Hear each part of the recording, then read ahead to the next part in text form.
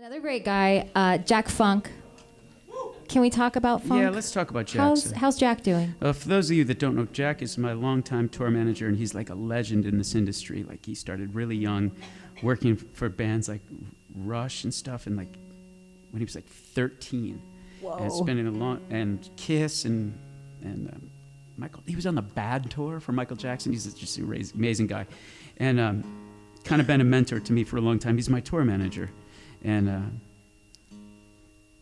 so he was recently in a pretty bad accident, and um, he's doing fine. He's getting there. But this is like his, literally the third time he's broken the same vertebrae. Somehow he's m- still moving. That's like bad. That's really bad luck. That's some some juju going on there. But he's, yeah, he's nervous.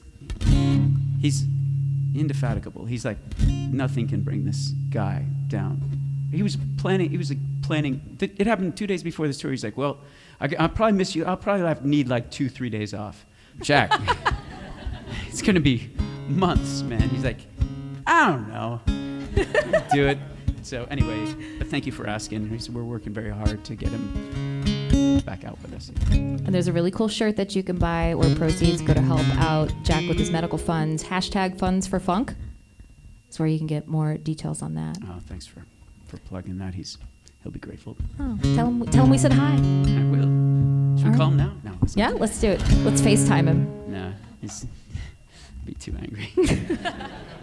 We're sleeping. Wait a minute. Uh,